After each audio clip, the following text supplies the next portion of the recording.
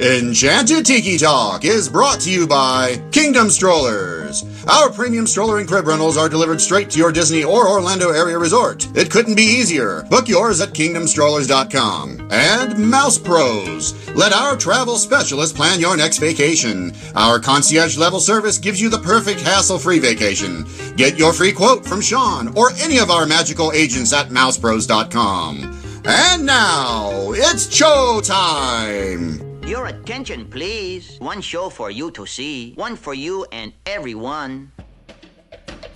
Oh, look at all the people. Pay attention, it's show time. I am always ready, as you say, to put on the show. My goodness, you're all staring at us. We better start the show rolling. Wait, wait! We forgot to wake up the Glee Club. Aloha. Come to the Tiki Room. Get your expialidocious tickets right here. Hello and welcome to Enchanted Tiki Talk Podcast. This is episode 279 for the week of April 11th, 2019. Back in the hut this week is myself, myself, and myself. So that's Hello, it. myself. Oh, look who else is here. I am here. Hey now. I didn't know you were here. I am here. I was just randomly You talking. to called me, so I figured, you know, you should know I'm here. Uh, you I called me. I, I I didn't know I called you. Yeah. Uh, it's its habit. Yeah, I just forgot. So what's going on?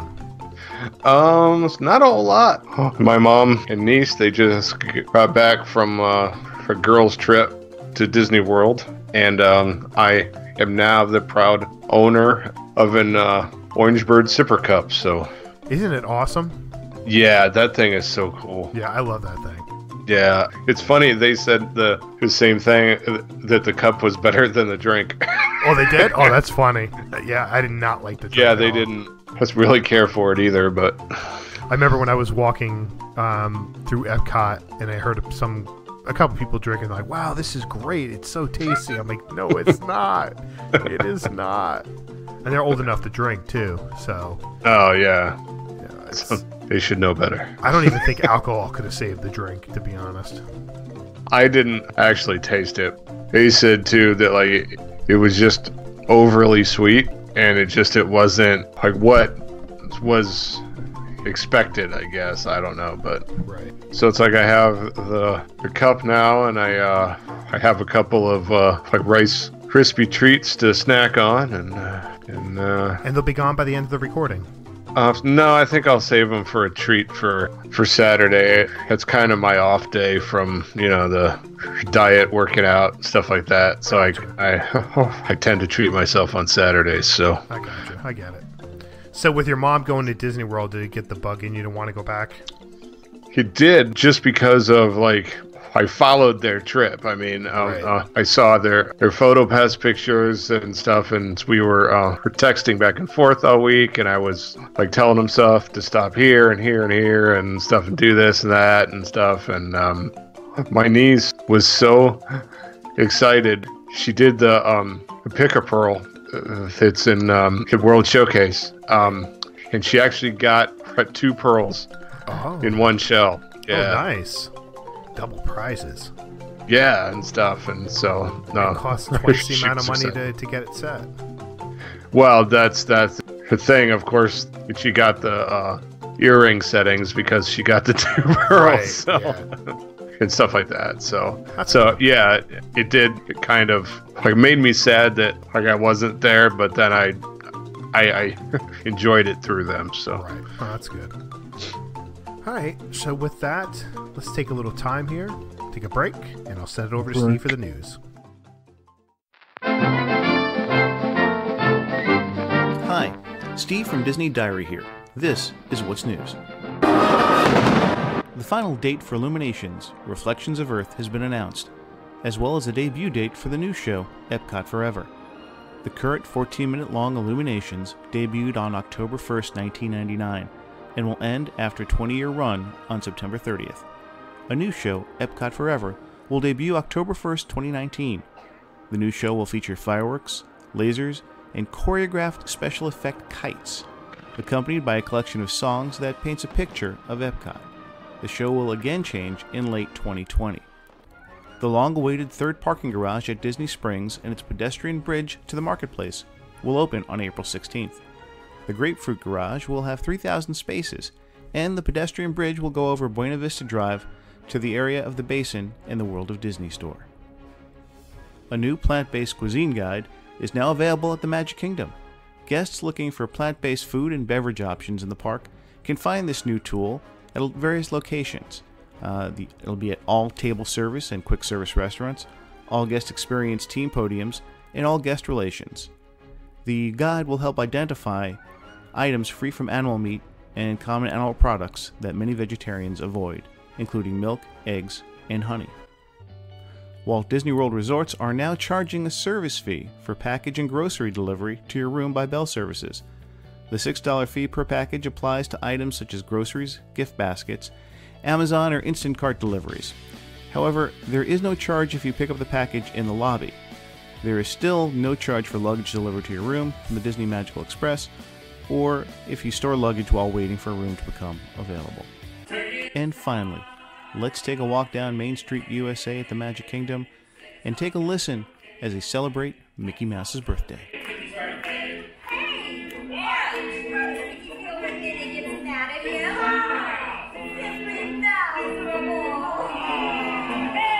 What? Why did Mickey go to the doctor? Why? Because he was having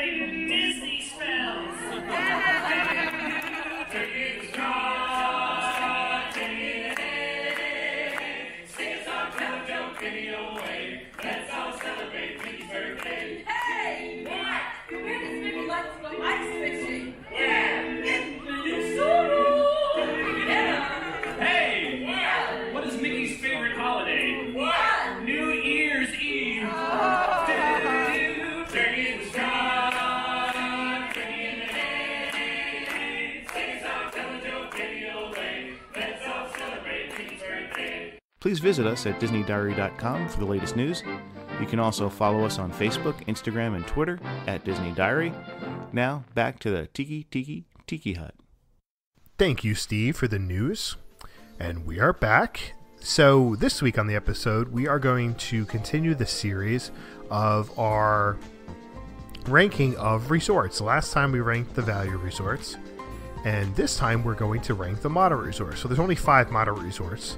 So, we'll start at number five, and I'm curious to see if Keith has the same one. I know, Keith, you've only been to two of the resorts? I have visited almost all of them. Have never uh, actually stayed at any of them. I have been there, walked around, and visited, and shopped, and ate and whatnot. So, Okay. so that's my qualifications for this episode. All right, so at, with number five, I'll start it off. The number five for me, I'm going to go with the Fort Wilderness Campgrounds with What? the cabins at number five. You so crazy. I think you're going to have you my baby. And so the reason I went with that was because it's while it's really nice, you know, you get to sleep. I believe it's six people in the room. Um, it's a really good sized room. You can cook in there. You can bathe in there. You can get bitten by mosquitoes outside your room. It's it's wonderful. The reason why I really put it in the downside was that it's the multiple buses that it takes to get to your room. You know, so you're gonna get you're gonna get your your bus from say Epcot. It's gonna drop you off in the front. Then you got to get onto another bus and transfer to your resort. So that's the reason why I put it at number five. If it didn't have that, it would have been much higher up on my list. But with the campgrounds, if, if anybody has never been to the campgrounds, you should at least go to the campgrounds and visit and try to do something there, like go to the uh, the bonfire that they have, or the Chip 'n' Dale camp. Sorry, Chip 'n' Dale campfire, which is a lot of fun. The kids are gonna love that. They're gonna they'll get a movie. They can uh, roast marshmallows. They can make s'mores. There's a guy there that's singing. Then after all that, they have music, and it's a lot of fun to go there and experience that. And it's just a relaxed night out. We did that on Mother's Day a couple years ago with uh, my wife and the kids. So my wife enjoyed it, the kids enjoyed it. So you should try to do that. But the reason, like I said before, the reason I put it at number five was because of the transportation. Other than that, I mean, it's still it's still a good resort. It's a relaxing resort. It's not the type of place where I think that you're going to go and go all commando necessarily, just because of the transportation issue. It's just more of a, you know, let's go for a week, but maybe only do four days in the park type of thing. I'll talk about it more um, when it's on my list, but but uh, that's a valid point uh, with uh, the transportation. But can't you still, once you take that first bus um, at the front, you can use the boats and everything else, like to the the Magic Kingdom and all that stuff too, though. Yeah, there is a boat that will take you there, but in most cases, you're still going to have to take a bus up to where the boat's going to take you, unless Right. you're in one of the coaster cabins. Or the other thing that's nice is you can rent um, a golf cart for the week, or whoever Mhm. long you're going to stay there. I th- I want to say now it's around seventy dollars a day or more for the golf Wow. cart. So yeah, it's not cheap, but it does make it a little bit more fun staying there. All right, so um, at my five, it is uh, Coronado Springs. I know um that um Not a good idea. That's wrong.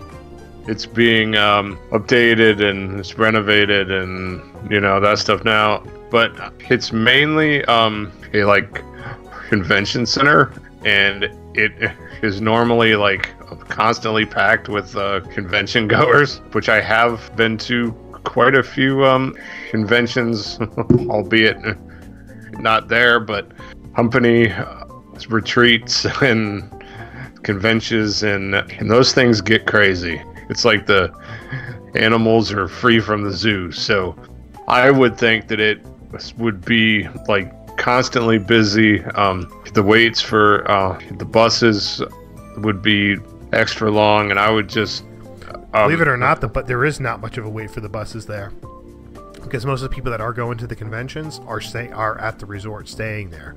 So you're going to see a lot of people when you're staying there. You're going to see a lot of people walking around all dressed up and heading over to the convention center, while Right. you are in shorts walking away from the convention center. So. Uh. You don't you don't get a lot of people except later in the day that are on the buses. if you're paying a price to stay there, I think that you wouldn't want to deal with all the crowds at the restaurants, at the food courts, at, at those places too. So, with a bunch of other um, resorts to choose from, I put that one uh, at the bottom of my list. Yeah, and the two times that I've been there, I'm going to spend more time talking about it later, but the two times that I've been there, I have not seen a crowd at the food court. The only places I've seen a crowd is at the bar at the Mm. end of the day. So it's not so bad as bad as you think. So a lot of times the conventions are they're getting food anyway. So there's a separate room or separate eating area for them to go to. So it's really not that bad. And in the morning, like I said, you're going to see them. You might see them getting coffee at the the shop or something like that. But is honestly, it's really not that bad. Alrighty. All right.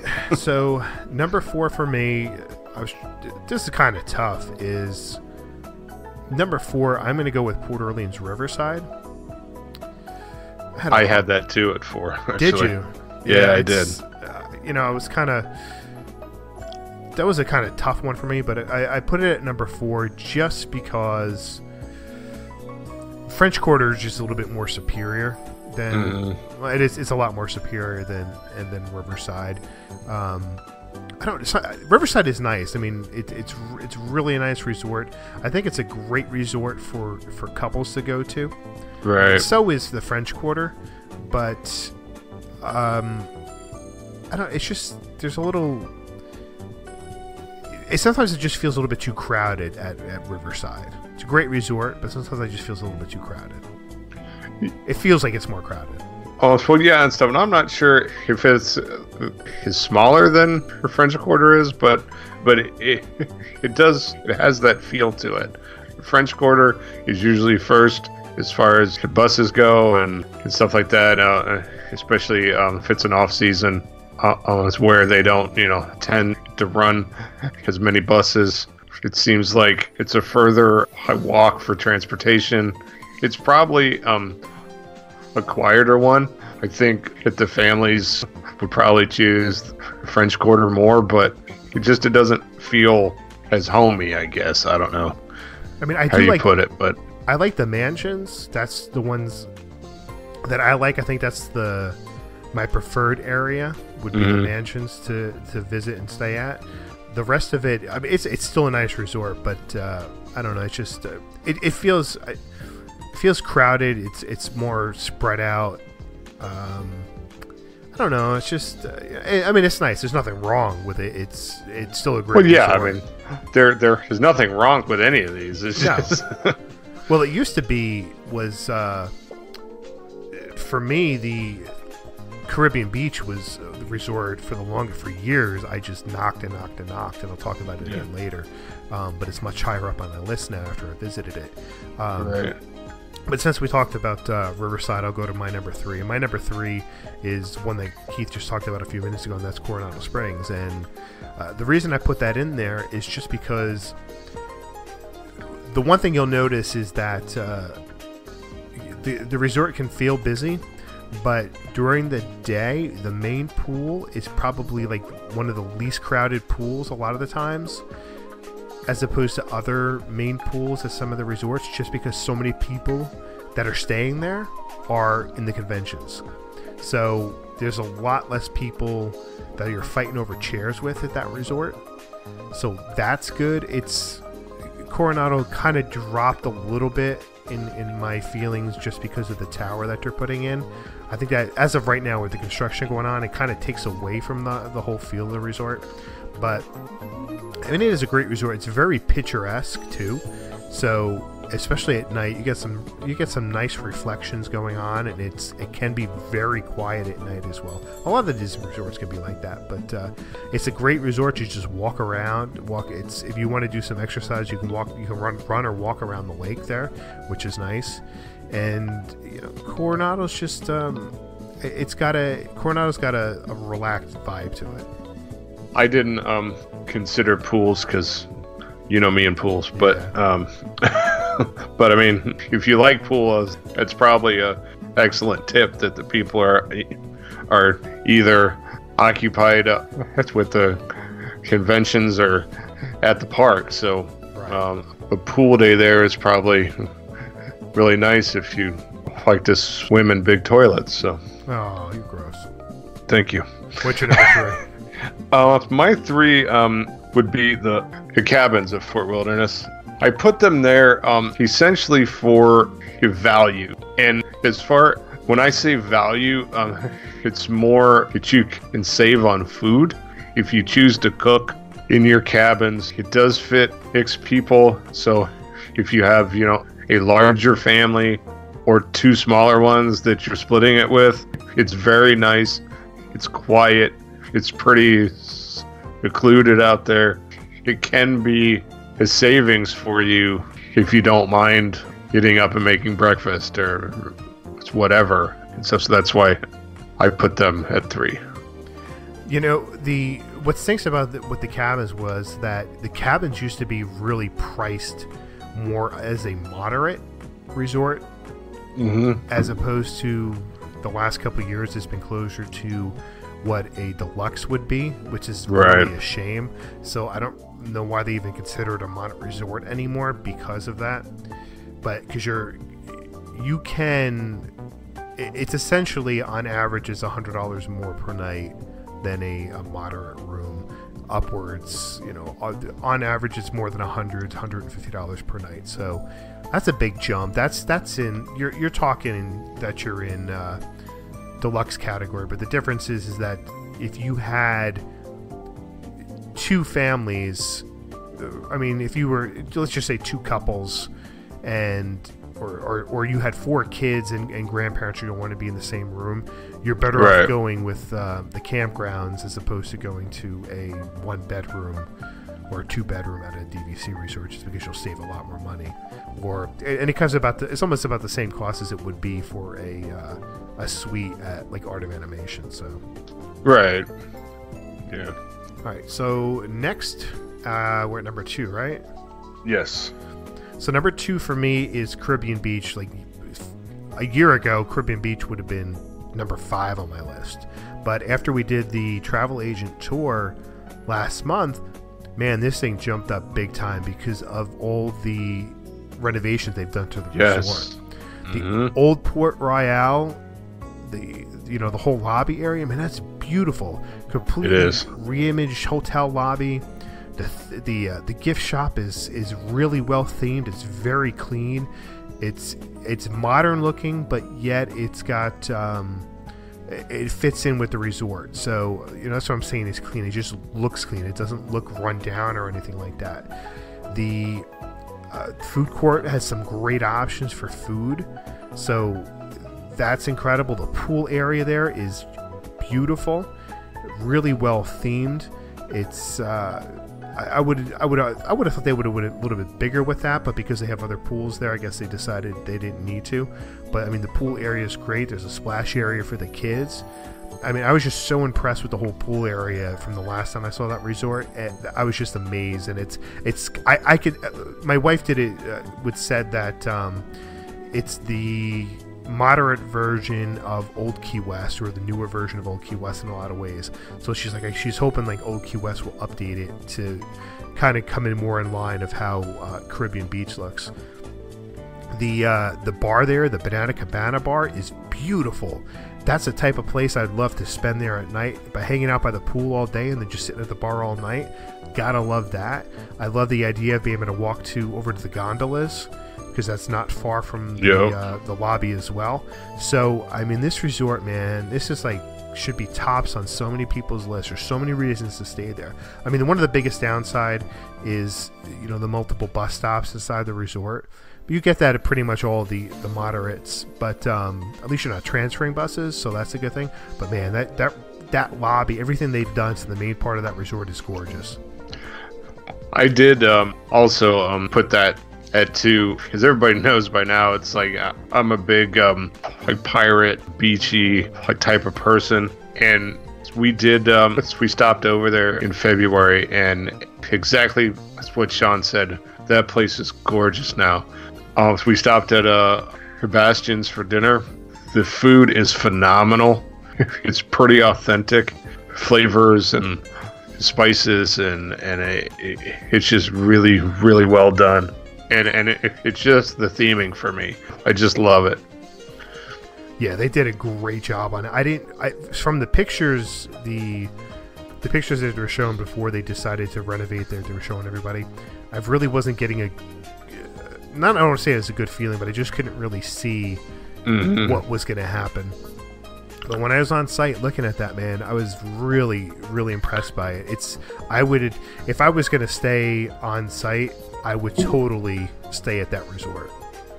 i think if we ever did like choose to stay for um like a moderate one i think i would probably um like choose that one especially for like an anniversary um like trip or something um where if you're not like just at the parks all day Right. All right, so that leads us to number one. Number one, I guess we both have the same one. It's going to be uh, French yeah, Quarter. we do. Because we kind of I touched on it, um, but it's really well done. The um, the theming uh, inside the rooms uh, is really well done, and kind of what pushed it over uh, Caribbean Beach was uh, the beignets, man. I mean, yeah, you, you can't go wrong uh, with uh, like a plate with six freshly fried beignets, man. I mean, that's just killer good. They are. The beignets are so good there. It's uh, you know what I love about the re- resort is is I, I I've been to New Orleans. I love New Orleans as a city. I, I I think it's a great city. I love the architectural style of New Orleans, and it brings it to the resort on definitely on a much smaller scale. And, but I love that. I love I love the feeling of, of feeling like I'm in, in New Orleans. You know, you get a little bit uh, of the, the French inspired architecture there. So it's fun. It's uh, it's very laid back. It's very uh, uh, to me. I feel like French Quarter has more of a cozy feeling to it over Riverside. You know. Right. It's just it's got that that true just uh, authentic feel to it. Right. The only thing I don't like about it is over in the food court is the the masks. They they got rid of those, all right. They took those out. yeah, Yeah. did, yeah. That, those kind of creep me out, but uh, I, I, I love. I, I mean, uh, the resort is great. It's, uh, you know, you just you do get that feeling of, of being in New Orleans and in, in and taking a step away from from Disney World. I think it's one of those resorts that pulls that off really well. Yeah, and I mean, you know, even if you don't stay there, go there and just hit the beignets and leave. And and it's the like the only resort that does um, parades for certain holidays for like uh, Mardi Gras. They have a parade, they have a Mardi Gras parade. You know, so that's cool that they Yeah. do stuff like that. I like that. They do. Other, they have stuff for other things too. I can't remember what else it was, but The cast members make like floats and stuff. I mean, it's it's it's just it, it's really cool. Yeah, it it's a fun um, uh, resort to be at. Yep. So that's pretty much it for for moderates. There we so we've concluded.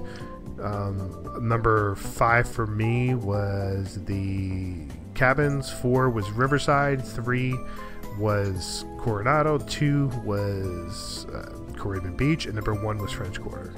I had Coronado Springs, us Riverside, Cabins, Caribbean Beach, and French Quarter as my top five. All right. So if you were booking a trip tomorrow, where would you stay at? It? Which one are you choosing?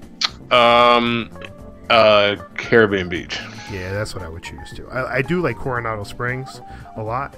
Um, you know, I, I've been there. I'm I'm familiar with the resort. I love the grounds. Uh, The thing with like me is like I don't mind walking to get to my room as well. Right. So it's a little bit further from the lobby. Uh, but there are multiple stops in the resort. But I usually always tend to go to the lobby anyway. Uh, but I, you know, it doesn't bother me that I'm walking a little bit. It's I'm I like getting that exercise, especially in the cooler weather months when we're coming from the north and it's like three degrees out and you get down there and you can wear shorts. Man, I'll walk. I'll walk Yeah. 500 miles. You know, it doesn't bother me. Well, yeah, I mean, it, it's nice to not be in the frigid north. So Yep. it doesn't matter. All right, so I think that's it. Everybody out there, you know, you can send us your opinions if you'd like.